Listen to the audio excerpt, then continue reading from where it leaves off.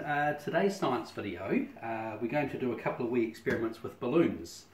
And uh, while it's lots of fun, we're going to practice Newton's first law, which is actually the law of inertia, which I'll explain at the end of the video, um, rather than spoiling it now.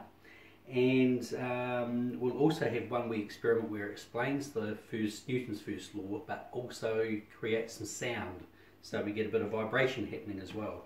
So all we need to do uh, for this, or all we need to have, is uh, a balloon and a coin and a balloon and a hexagonal nut.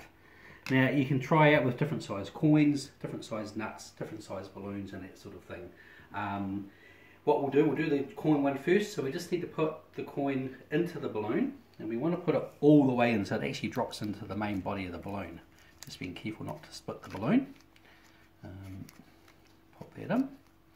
Once the, the coin's in, it's just sitting in there now, I'm going to blow the balloon up.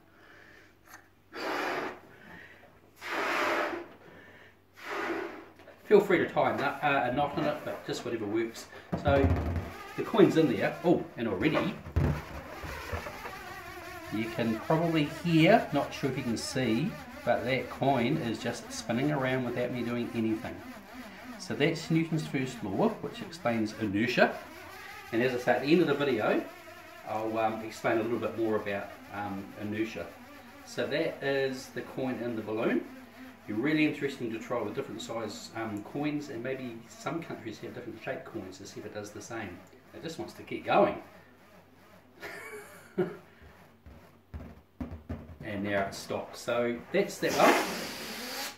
And now we'll try and put a little hexagonal nut into um, the balloon and just see what difference that makes. So just the same thing, just make sure it's all the way in, just being careful not to put a hole in the balloon. So that's now in, I'll blow that up.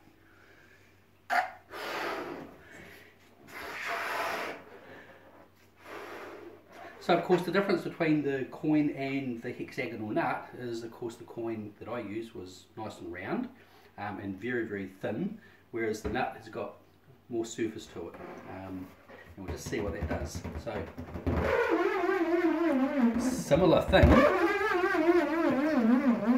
clearly a lot louder. And I can actually feel, in my hand, I can feel the balloon vibrating. Which, as I said at the start, is kind of explaining Newton's first law, but also causing vibrations. And we know that um, sound is caused by vibrating. So let's give that one more go. So there's two really, really simple things you can do to explain Newton's first law and also how sound is made. And I'll have a wee thing at the end of the video to explain a wee bit more.